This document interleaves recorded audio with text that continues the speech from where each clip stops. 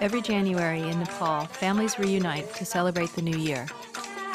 But Olga Murray of Sausalito knows for some Nepali girls, it's anything but a happy time. The 83 year old widow founded the Nepalese Youth Opportunity Foundation two decades ago to help the country's neediest children. At a particular festival in mid January called Maghe Sankranti, uh, families more or less sell their daughters to labor contractors.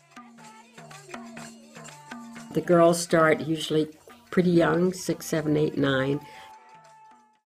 The families who sell these girls are usually desperately, desperately poor. And uh, they do it because sometimes she's the only one in the family who has a job and they need it to feed their other children. You can understand why parents are forced to do this. That you have a certain amount of sympathy for parents in this circumstance. She's often beaten, sometimes sexually abused. This is how they live their entire childhoods, in fact. And they live in conditions similar to slavery. In fact, the United Nations classifies this uh, practice as slavery. These live in girl servants are known as kamlaris. For some kamlaris, their lives will never be the same. Her name is Anita Chowdhury, and she was sent to work as kamlari by her parents when she was very young.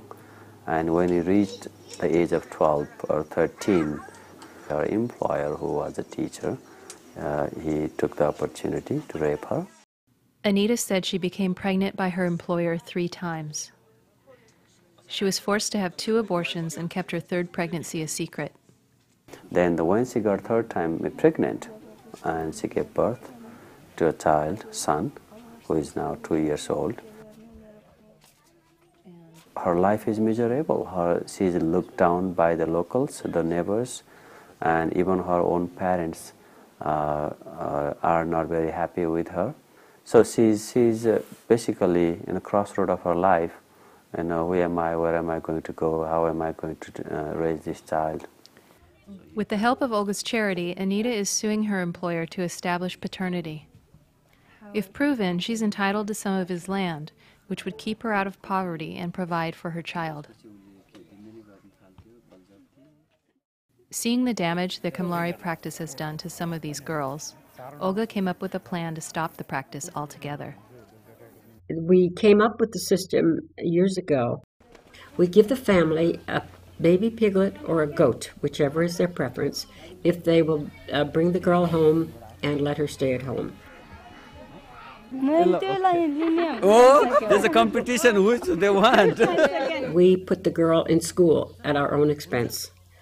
Um, this process sometimes takes quite a while. It's a matter of convincing the parents that they are not going to suffer economically, that their daughter is suffering terribly, uh, and that the girl, that their daughter needs to be educated.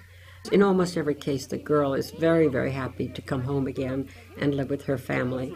But the family sometimes feels that, that they will suffer economically and that they need the income of the girl. La la la. Okay. La, la. Our aim is to make them economically independent. And those who are bigger girls, they may go uh, through six months non-formal education program, and then we place them in vocational training program.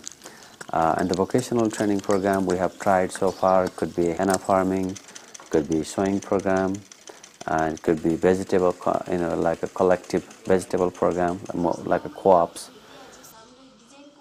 Uh, at least a dozen of these girls have started their own sewing businesses. They, they have broken off from there. Olga has concentrated her efforts for the past eight years in the Dang district of southwestern Nepal, where she's rescued 4,300 girls. In January, she marched with hundreds of them, calling for an end to girl slavery.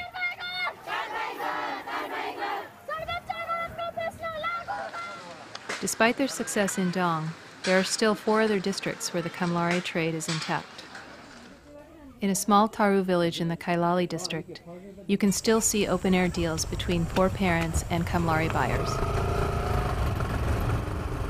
Brokers on motorcycles appear in Tharu villages during the Maghe Sankranti festival.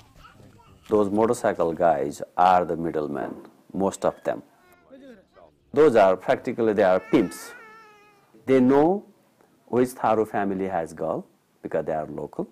They know which Tharu family is very poor, and they know who they can tempt those poor family with 2,000 rupees, 5,000 rupees, you know, $30, $50. The Nepalese Youth Opportunity Foundation has not yet expanded its work into Kailali. This man, a clothing store owner, drove from a larger city three hours away to renegotiate the contract of his 10 year old Kamlari with her father. As Kausi Chowdhury sat between her parents, they argued over selling her. The father refused to sell. The mother insisted they needed the $80 for rice. In the end, they didn't sell, but the father later admitted that's because he sold to somebody else who came by in the morning with a higher price and half the money up front. Although Olga's charity has not yet reached Kailali, it is moving into the Banke district, where volunteers board buses looking for Kamlaris on their way to servant jobs. At the Kohalpur bus stop, volunteers questioned this woman who they believed was taking a young girl to be her servant. We asked for the girl's name and her and what village she was from, and uh, this woman did all the talking. When we asked the girl a question, the woman would tell the girl what to say, and she looked very scared. Things got a little tense when the woman wouldn't answer the volunteers' questions, but eventually she said the girl's name was Gita and named the village where she was taking her. So this is the woman who took her. The woman refused to let the girl speak and kept her away from volunteers. We went to the village that she told us the girl was from, and uh, there were no Tharu girls in that village at all. So she had she had uh, not told us the truth, and we were not we were not that surprised. This thing can be very complicated. But even that is progress. I mean, I, I think she was hesitant to say that she was employing this girl, and that was not the case when we first went into this area. We'll find her.